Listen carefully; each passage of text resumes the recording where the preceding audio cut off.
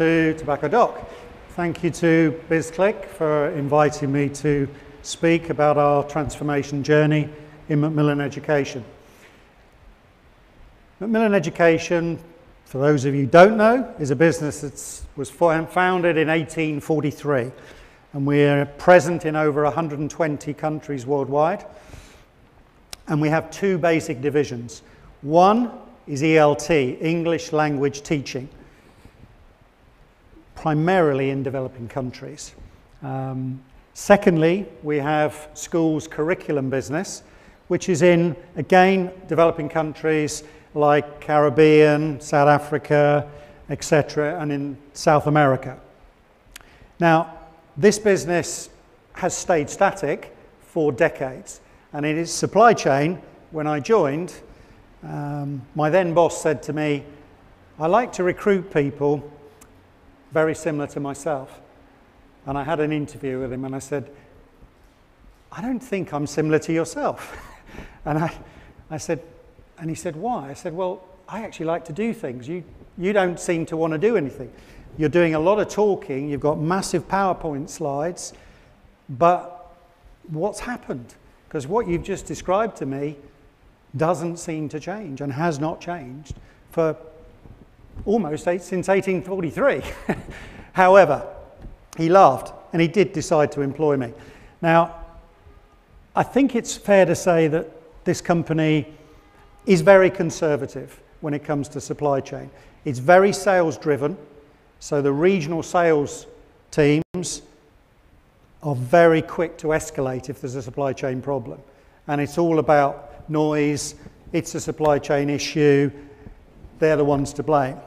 Now, I'll explain and you'll see some of the dynamics that actually go on that actually cause us some problems that are driven by the sort of sales guys I'm describing. Now, they're all great people, I get on well with them, but they do create some challenges. So, what I've got now is a little video that'll just give you a bit more context about what I inherited and some of the things that drove why I wanted to make some changes. So there's a quick video that I'd like to just play you now.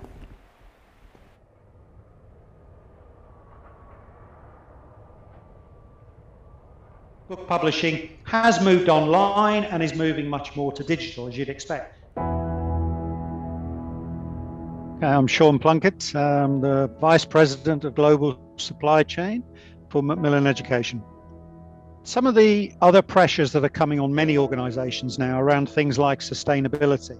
You know, our carbon footprint was way too high because we're air freighting, putting on a boat all around the world and then shipping it all the way back to where it started. So we had to completely re engineer the supply chain. And one of the key things that I proposed was much more of an integrated supply chain, locally based. Our business is very much around English language teaching. That's Macmillan, that's what it's all about. And that's typically in developing countries. Now, a lot of the bandwidth and infrastructure is not there to support big download files. So, hence, we still need a physical presence. So, if I could move everything to local, it meant I could dramatically save our freight costs. So, our freight costs have come down by over 90% as a result of this change. Um, and our carbon footprint has obviously improved dramatically. Mm-hmm. So you could see that a lot of those pointers of sustainability um, were driving our, our initiative. The quality of our archiving was very poor. So we had to invest in that. And that was another big digital transformation was getting all of our files properly digitized and then be able to, at a moment's notice, be able to distribute those globally to anywhere wherever there was demand. So we've now built that infrastructure, and that was a cornerstone that was missing. We have a lot of confidence in that digital supply chain now, and it gives us great agility. And the COVID times, interestingly enough, have demonstrated that because a lot of lockdowns have taken place. So we've been able to, at very short notice, make make our content available digitally to support teachers, students when they've been working at home, uh, offer free content as necessary, etc., so that they can continue their education. Okay, so that gives you a little bit of flavour as to why we were trying to change and what some of the drivers were. Okay, for those of you who worked for an accountant, I have several times for COOs. Um, this is the only page they're interested in any presentation. Show me the benefits. Um, you've probably all been in those meetings. If they don't like the numbers, the meeting's over.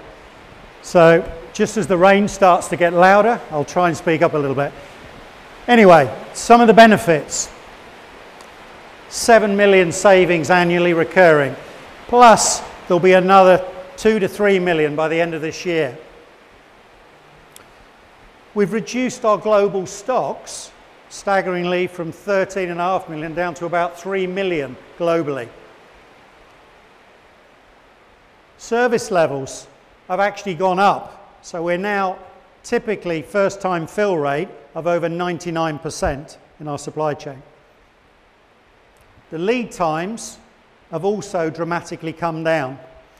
Most entertainment businesses I've ever worked in, they all had typically sourced in the Far East with long lead times, and it was all driven by the classic metrics that we as senior executives are all tasked to get lower cost every year.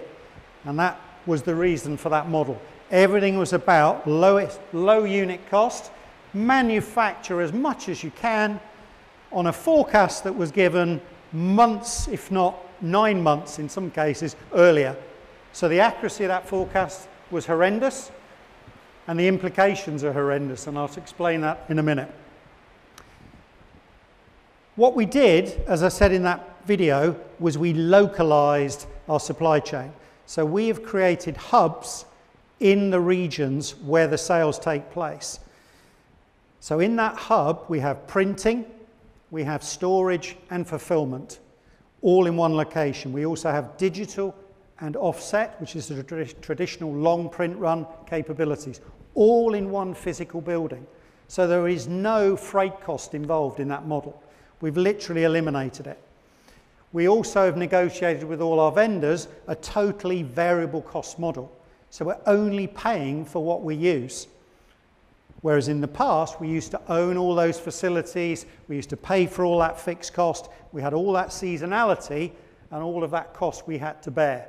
We've now extracted that from the supply chain, and it's part of the benefits.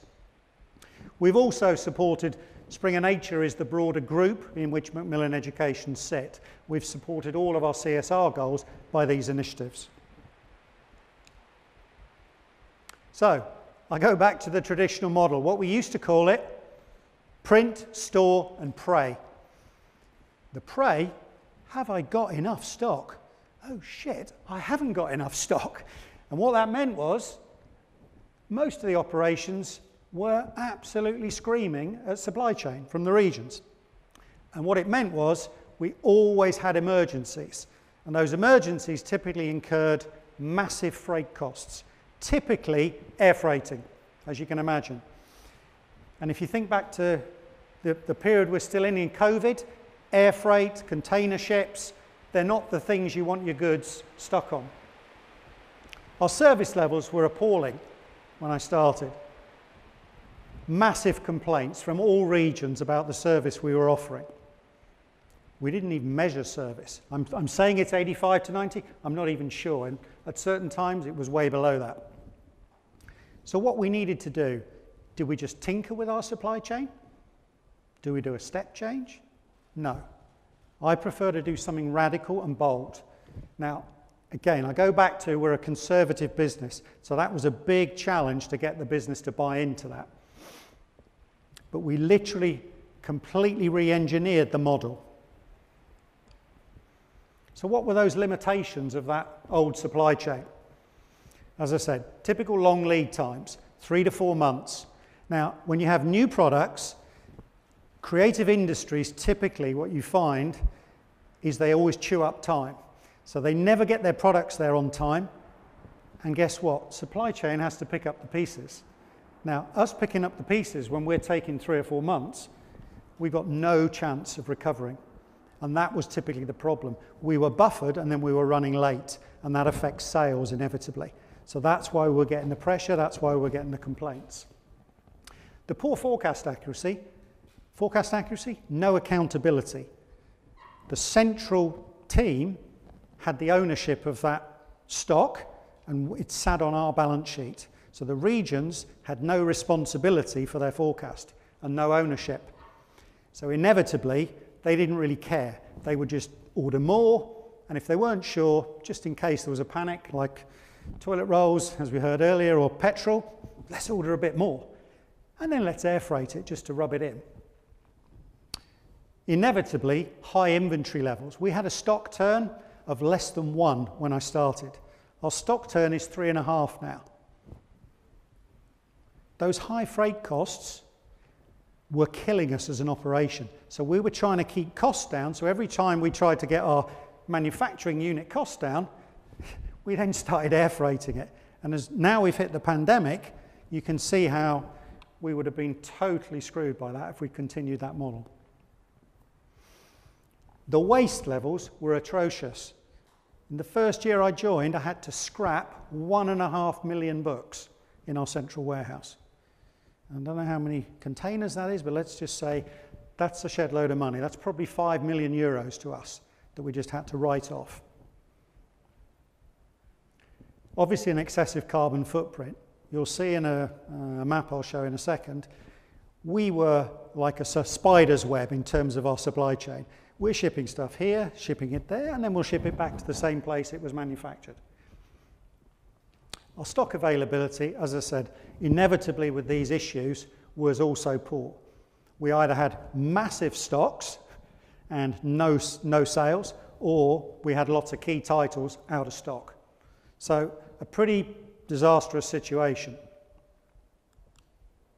This was the model. So as I say, 90% of our manufacturing was in Asia. These little blue dots, if you can see those, they were all our key printers.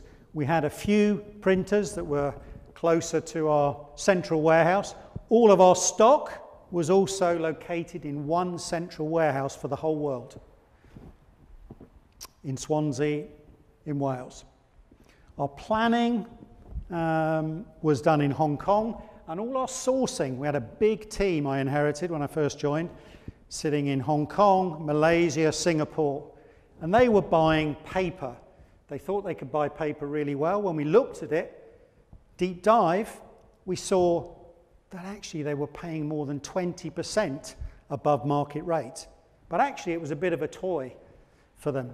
They liked looking at paper, they liked visiting paper mills in China. But the reality was, we weren't getting an effective cost. We didn't have the scale. We needed to partner with the right people, go with these printers, find the right partners. So that was the old model. So, what have we done? We've created all of these hubs. So these little diagrams are hubs in our key selling regions. So these hubs, as I said earlier, they are the center of the world for that selling location. Everything can be supplied at very short notice now in all of these regions. We've decentralized all of the sourcing and planning to those regions. So the sales teams now, I've actually put my teams in with those sales teams in all the regions. So they work collaboratively now rather than adversarially in the past. Obviously, the logistics are simplified enormously. We don't do any air freight, it's gone. We don't need to. Container ships, we don't have them, we don't need to use them. The reality is, we store where we can locally the critical items. So, if there are uh, probably 5,000 SKUs that we're typically supporting. Probably 400 represent between 80 and 85% of our turnover. So those are the ones we stock in the location, and the ones that we don't are now stored, uh, sorry, are now printed either digitally for auto replenishment or true print on demand where the customer needs it. And we'll also customize all of that content as they need it on a real order coming into us. There are further hubs to come, probably in China, probably three. There'll also be Dubai to serve the Gulf, and I'm opening one up in Brazil as we speak. So, what next? The previous speaker talked about SAP. We're embarking on a, an ERP implementation. Now, all of this was done with no systems virtually. All of those savings were delivered. So, I agree with the previous speaker, there's a lot of benefits of putting the right systems in, making sure your data is correct, etc. However, you can still make massive change and deliver it um, without those infrastructures in place. It facilitates, obviously, our ability to leave the UK warehouse. The reality is, we had a sister company, we were sold, their ERP system was 30 years old. It sits on an AS400 green screen system. That's how old we're talking. I remember that at university, just to give you an idea. so that does need to be replaced as a minimum. We are going to do that. It gets us out of the UK, and then I can establish two other hubs in Spain and Poland. Again, two of our key markets.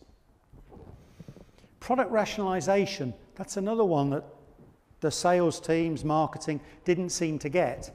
They had this enormous tail of product that wasn't really selling, but obviously they had all the stock across all those product lines. Now, for me, you need to focus your sales teams on the things that are selling and the fresh products. So, for example, in Asia, they were selling products that were 20 years old. Now, a lot of these products we can't make physically anymore. We have no components. They're selling things with CDs in that don't work. So we have to try and educate people. The other thing is, when we've moved to digital, we've had to simplify. So often the digital printing does not equal the old traditional offset printing. And you have to modify and simplify those products to be able to offer down to one book. Obviously, the expansion on print on demand and print to order is another thing we're driving forward. Some of the technology in certain regions is not as advanced. So, for example, in Asia, interesting enough, they haven't had as much thinking around the digital investment. They've always traditionally uh, gone with offset printing and done long print runs. And it's, to be fair, I haven't seen many Chinese printers actually come to the table with an offering like this hub that I've implemented. So the way we convinced our other vendors was I took them to Singapore to our first hub. And this hub is a blue case, you know, for us as a business. So I get the guys to go there, see the model, the lights come on, and they start replicating it for me. I haven't even got a contract with these vendors, but they bought into the strategy. And we're already seeing the vendors already supporting this sort of event, and also they supported the paper that I wrote around that BizClik invited me to do. And they are committed to this strategy and journey because they see there's an end game with them. They will, they will grab all of the business in the region and they become the epicenter for our business. Okay, some of the lessons learnt, I think, on any transformation journey. Obviously, the basic one for me, you have to get your stakeholders on board.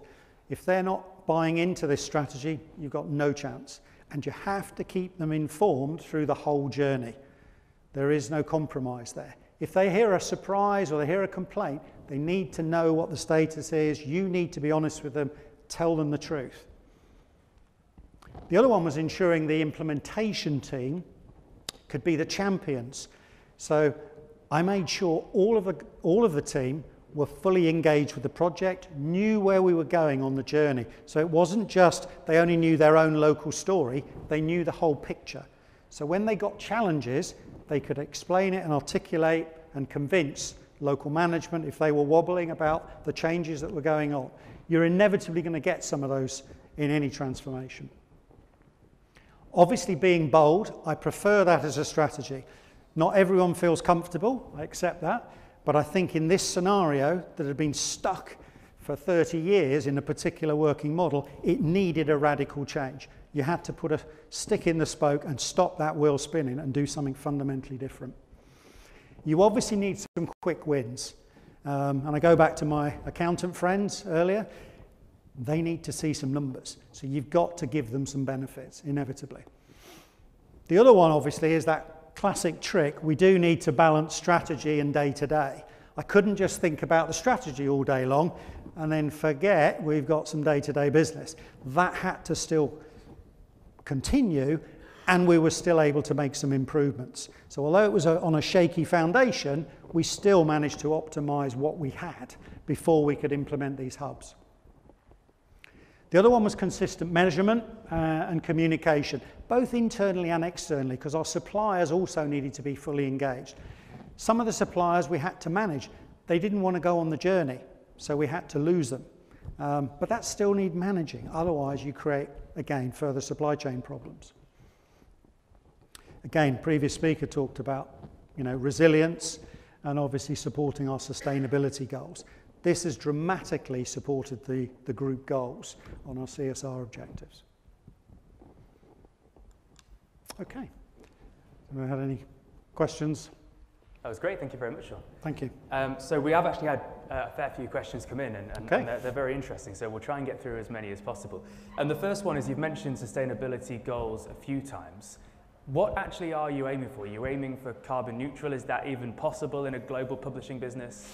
Yeah, I mean, the, the whole group is committed to carbon neutral. Um, so we've got clear, clear goals and we've got clear plans to deliver on that. Yeah. Now, it's, it's not all uh, plain sailing. We've had some bumps to say along the road. Yeah. But I think, uh, yeah, that's our, that's our clear objective. And I would say in the next two to three years, that's pretty much where we'll be.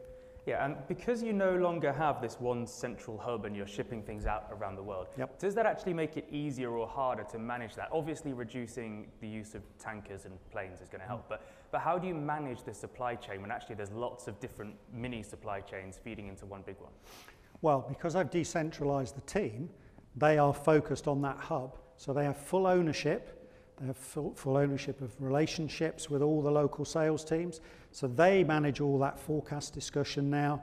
They're managing and deciding which products they're going to support. They're much closer linked than we were in the past. In the past, we were so far removed, we were nowhere near hearing half of those conversations. Yeah. So inevitably, we missed half of the noise or the concerns that they had and just let it run.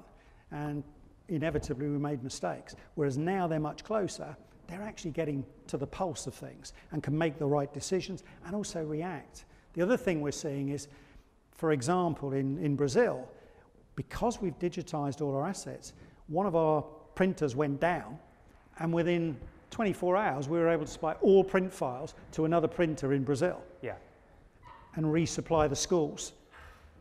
And uh, literally that, that within, within days. Possible if you in the old model, we would have just completely fallen over. And lost the sales permanently.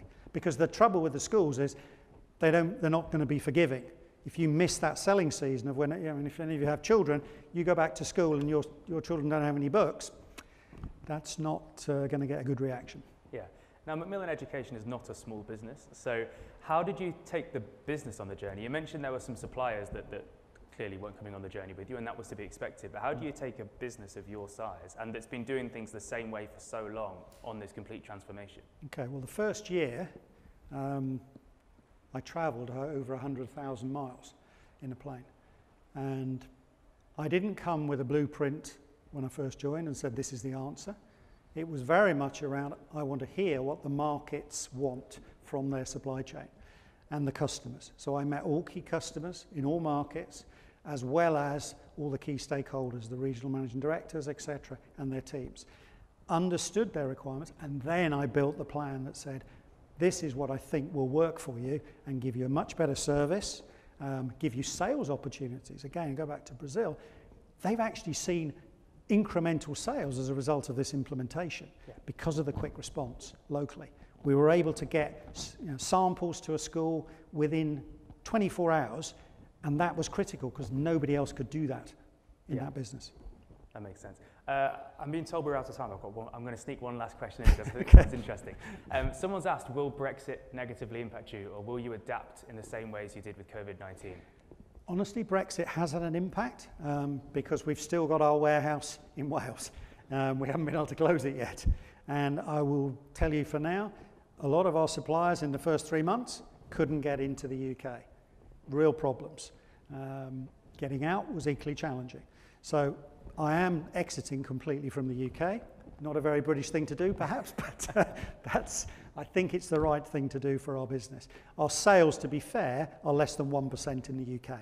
So we've got a warehouse and we've got no sales in that country. So it's totally counter to the model I built. That makes sense. Shaun, thank you very much for your time. No, Appreciate it. thank you very much for giving me a chance to speak. Thank you.